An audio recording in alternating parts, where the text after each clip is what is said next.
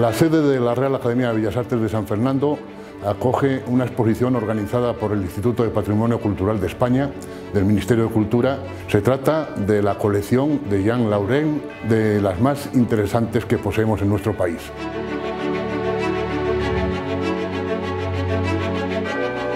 Juan Laurens realmente es una personalidad sobre la cual en los últimos años se ha investigado mucho. Sin embargo, una exposición globalizadora, una exposición que intente abarcar todos los aspectos fundamentales de lo que supuso su producción y de lo que supuso la Casa Laurent y compañía, esta es la primera exposición que se realiza.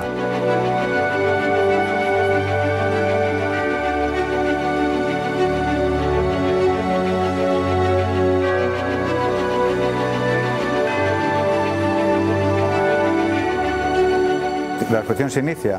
con un audiovisual, la vida de Lauren básicamente, se va recorriendo, hay artefactos, piezas en volumen,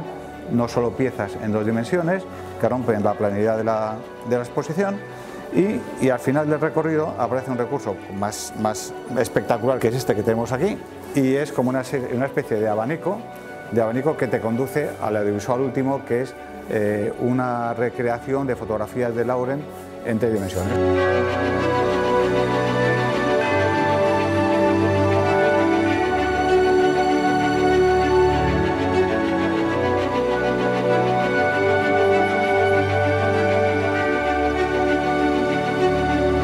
Aquí se reúnen casi 200 fotografías de todos los tipos, se ha reconstruido incluso el carro que él utilizaba para visitar las distintas poblaciones y tenemos imágenes verdaderamente poderosas y evocativas, de manera que es una imagen completa de aquella España del siglo XIX que gracias a Loguén tenemos la oportunidad de ver en la Academia de San Fernando y gracias también a todas las instituciones que han colaborado prestando algunas de sus imágenes.